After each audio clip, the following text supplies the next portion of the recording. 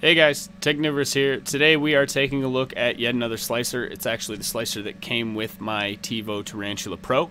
It is called Repetier Host, and it looks very familiar. If you look up here on the right side, you can see that it says slice with Cura engine. There are other options. If you go in here, you can also slice it with the Slic3r engine and the Prusa slicer engine. So this slicer is capable of doing things that these three slicers can do and it can do all of them fairly well. Uh, if I go into the manager here and bring this in, you can get a little inf information about these things. It basically, there's a license there for things and permissions and, and stuff like that. The actual slicer here uh, is changeable as well. I'm going to leave it for now. And you can change profiles, add slicers, things like that. I'm going to go ahead and leave this alone. Um, you can see when I have my Cura engine brought up that I have some print settings here. Uh, the configuration, the adhesion type, the quality, the support type, speed, infill density, your basic settings. Uh, if I go in and open Slic3r Prusa Edition, it changes things for me and gives me a more Slic3r Prusa, Prusa Slicer specific interface and options. So I'm going to go back to Cura here. We will import a model and slice it up here pretty soon, but I wanted to check out the manual control option here. Now, I am not connected to a printer, but this is a very easy way to control your printer when it is plugged in and turned on as far as monitoring the bed temperature, the extruder, you can adjust the fan and the feed rate all from here and control your XYZ axis as well as your extruder. So if you want to say calibrate your E steps, you can pump in some G code here or just hit 10 millimeters on the feed for the extruder and pump it out there. So that's a very, very nice addition. Most slicers have these now.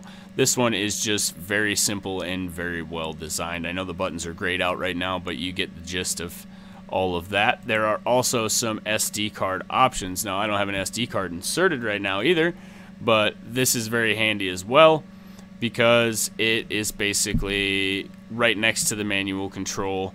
You have basically your two forms of communicating with the printer and some options for each of them, which is very handy. So, let's go ahead and bring a model in and start slicing it up. And as you can see here, I have this. It is an object just called spinner disc. This is for a, another video that I'm working on. You'll get to see more about that later. I'm going to go ahead and go in here and rotate. And rotate it 90. Slide it over here.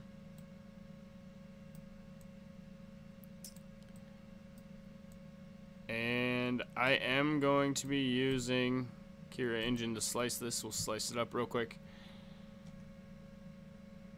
And I will throw it on the printer. We'll come back in a little bit and I will show you what it looks like, how it comes out. Um, I'm very pleased with Repetier so far. It does a very good job.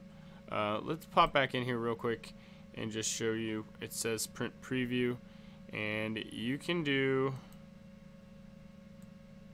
show a single layer here or a layer range, which is kind of cool. Um, so you can roll through and see exactly what it's going to put down and where. So um, we'll jump back to this when it's done printing and I'll show you how the final model came out. And if you want to try Repetier for yourself, it is available online for free. I will try to find a link and put it down below. Um, it is very, very sufficient for most slicing needs. And then you have the option of using the different engines as well to slice your model. So instead of going back and forth looking for something in Prusa Slicer that you can't find in Cura, you can generally do all of those things right from here. So I also have this model open in Cura right now. It's the exact same model. Um, and at 0.2 millimeter layer heights with printing temperature at 220, my speed is set to 60 millimeters per second. Oh, nope, it's at 90. Let's change that. It's going to be 60. And we'll reslice this. Um, and this is Cura 4.3, I believe I'm using at the moment. Okay, so this is coming out to 7 hours 45 minutes. Um, show you a couple other things real quick. No adhesion, no support, um, all that good stuff. And infill is at 10%. Um, let's change that to 15 because that's what I have it set as. You'll see why I'm doing this in just a second here. Let it slice. There we are, 7 hours and 50 minutes. Okay, so uh, print temp 220, 15% infill, 60 millimeters a second. Okay, we're just going to close Cura.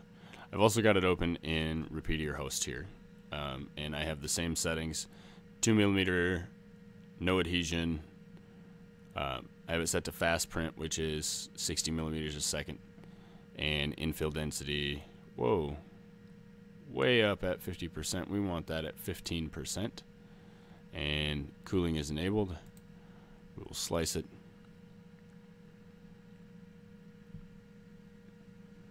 And remember, there are two other engines. You can slice this within there to get a couple different settings, things like that. Uh, but I am printing this at 3 hours, 10 minutes, and 39 seconds. So that's the print we're going to go with. I did already print one, a 10 hour print sliced with Cura. I have it here. We'll compare the two when I'm done with the Repetier Host version and see how it comes out. And as you can see, I have my part here that we sliced in Repetier Host. It is relatively nice. I did warp it a little pulling it off the bed because the bed was still hot. So I simply turned it upside down on a flat surface and flattened it back out. But other than that, the uh, holes and things like that are pretty dimensionally accurate. So we're going to roll with this. If you'd like to see what I'm doing with this, you'll have to subscribe to the channel and watch out for future videos. Uh, I'm doing a build video coming up, and you will see exactly what this piece is for. But for now, that's going to be it. I just wanted to let you guys know if you want to try Repetier Host, I will try to remember to put a link down below. If I forget, go ahead and yell at me in the comments. Um, that's basically it. I really enjoy using Repetier. I like the fact that you could switch back and forth between slicing engines, although it did make it a little difficult to find particular settings for particular engines. But if you had enough time to sit here and check every setting in this thing, I think you'd be quite surprised to find out what it could do. And I know I enjoyed using it. So thanks for watching, guys. That's going to be it. As always, this channel is brought to you by these fine Patreon supporters. If you'd like to support the channel on Patreon, head over to www.patreon.com slash technivorous. Alright guys, that's going to be the end of this video. As always, thank you. I'll put a video up right here that you can check out for more of our stuff. And if you're still here and you haven't already, why don't you click right here and subscribe to the channel.